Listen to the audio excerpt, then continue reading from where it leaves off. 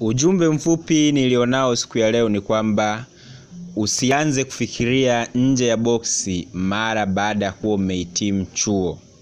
Usubiri kufikiria nje ya boksi baada ya kuwa umehitimu chuo.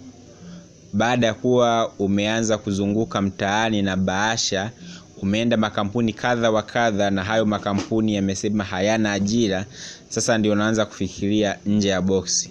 Ndio unaanza kufikiria uanzishe kibiashara fulani ambacho kitakuwa kinakuingizia kipato.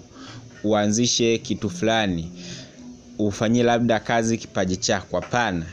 Fikiria nje ya boksi ukiwa bado chuoni. Kwa kutumia ule muda wa ziada ulionao chuoni, utumie kufanya vitu vya manufaa. Utumie kusoma vitabu vya manufaa, vitabu vya kujenga, vitabu vya kibiashara. Utumie hata kuanzisha biashara tu ya kawaida, kibiashara tu kidogo kidogo ambacho kitakuwa kinakuingizia kipato tu cha kawaida lakini kinakufundisha kitu kikubwa sana ambacho kitakuja kuwa chenye manufaa makubwa sana kwako huko mbeleni. Utumie ule muda wa chuo kuweka akiba ambayo itakusaidia siku za mwanzoni utakapokuwa mtaani, lakini pia itakusaidia kama sehemu ya kianzio pale utakapokuwa mtaani, kuanzisha hata biashara, kufanya kitu kingine ambacho kwa siku nyingi umekuwa ukitamani kukifanya lakini hujapenda hujapata muda wa kukifanya wakati ukiwa chuoni. Utumie muda huo kunoa kipaji chako. Kipaji chochote ulichonacho utumie huo muda kukinoa vizuri. Na bahati nzuri chuoni kuna audience wa kila aina. Kwa hiyo unaweza ukawatumia hao audience kama sehemu ya kuanzia na kama sehemu pia ya kukua ukiwa hapo hapo chuoni kwa sababu hao audience wana watu wengine na watu, na wana watu wengine.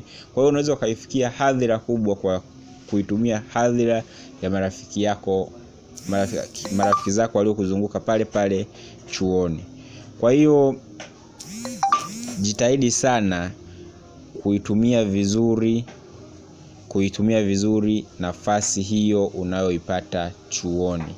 Usubiri mpaka uwe umehitimu ndio uanze kufikiri nje ya boksi. Usubiri mpaka huo umehitimu ndio uanze kutengeneza connection. Hapana, connection unaanza kuzitengeneza ukiwa bado chuoni. Binafsi huwa napenda kusema kwamba chuo ni sehemu ya kufanya vitu vitatu vikubwa sana.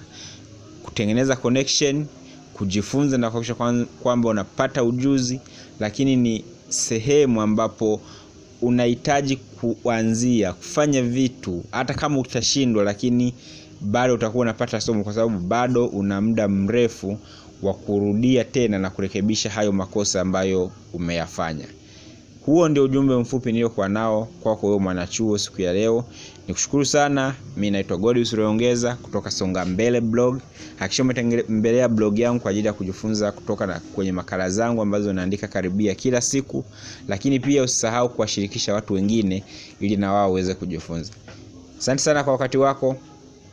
Kila la heri.